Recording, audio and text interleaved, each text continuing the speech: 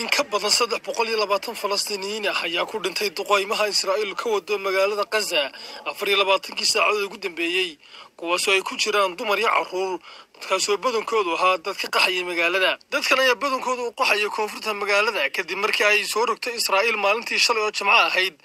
amarkaasoo ay ku amartay dadka tiradoodu gaadhayso hal dhibic hal milyan oo qof oo degan magaalada kaza inay halkaasi isaga baxaan dalabkaasoo ay si weyn uga hortimid qaramada midoobay kuna sheegtay mid aan haba yaraatee suurtagal ahayn.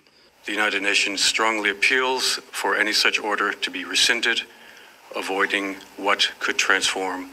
what is already a tragic xafiiska warbaahinta ee ururka xamaas ee maamula magaalada kaza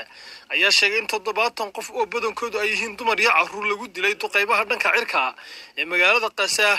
ay israa'iil ku hayso. Dadkan ayaa saarnaa baabuur ay magaalada kaga baxayeen waxaanu xafiisku intaasi ku daray in baabuurtan lagu bartilmaamasaday saddex goobood oo kala duwan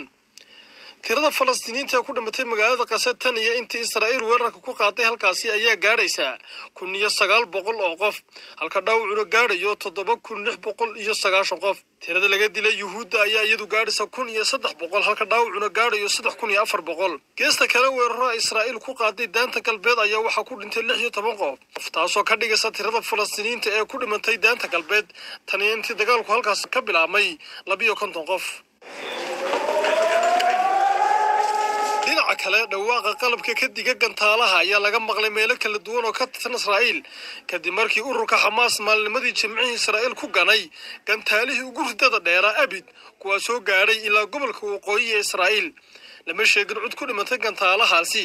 balse waxay cabsi iyo argagax ku rideen dadka reer israa'iil ee iyagu dowladooda ku taageersan duqaymaha arxandarrada ah ee ay ku hayso magaalada kasa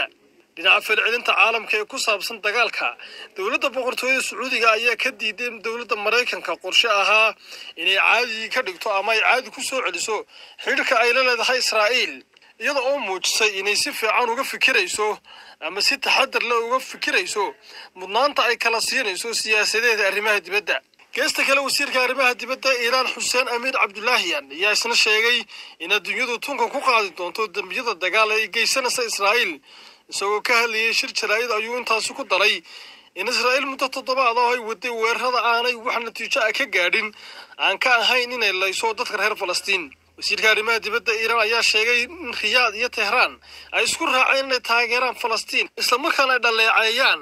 dembiyada ay israa'iil ka gelisa daanta galbeed iyo degmada qasa ee ka dhanka ah dadka reer falastiin